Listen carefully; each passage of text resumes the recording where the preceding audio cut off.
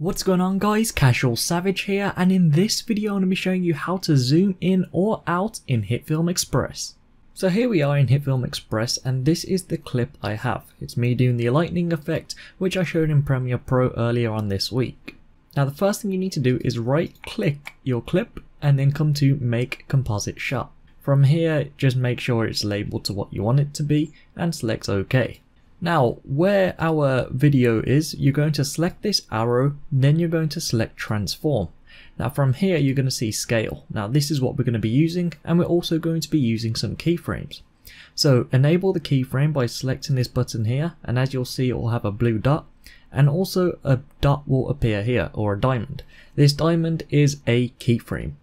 Now, what we're going to do first of all is zooming in. So you come across however long you want to for this zoom in to take place. So you can see up here as I'm going across this time is also going up. So we're currently at 2 seconds. However I'm going to keep going all the way up to 6 seconds right here. Now what I'm going to be doing where it says scale I'm going to left click and drag this up and as you'll see we are zooming in. And just like that two keyframes are being created. The first one which is us at the normal scale and the second one which we just done is zooming in. So now if I play this through from the beginning you can see the video will slowly zoom in. Once we get to this point right here that is where it's going to stop and stay. Now we can make the zoom a lot smoother very simply.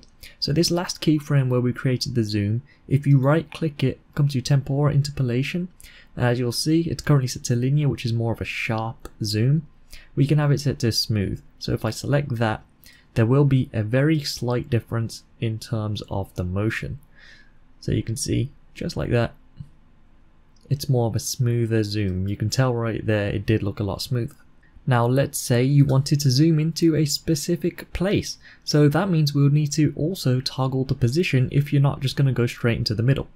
So we're going to toggle the animation on position and right at the start it's going to stay at zero but we're going to come to the keyframe where we are zoomed in, which is right here. Now, all we're going to be doing is moving the position about to where we actually want the main focus to be.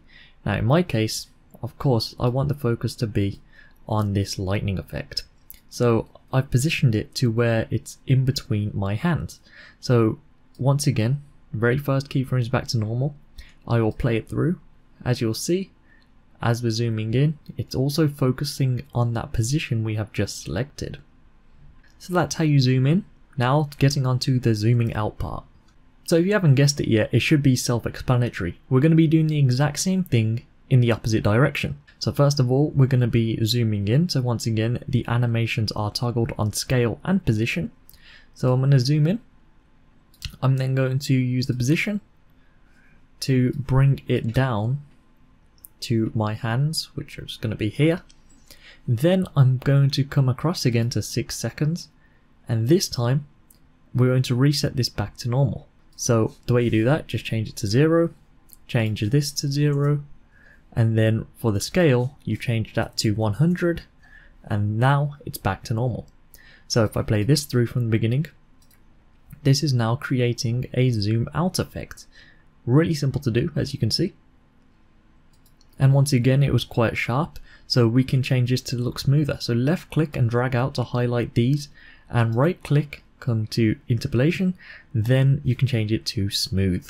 Now if I play this through you can see once it gets to the keyframes it's going to be a lot more smoother this time. Just like that it just settles back into the normal position. But that is how simple it is to zoom in or zoom out in HitFilm Express.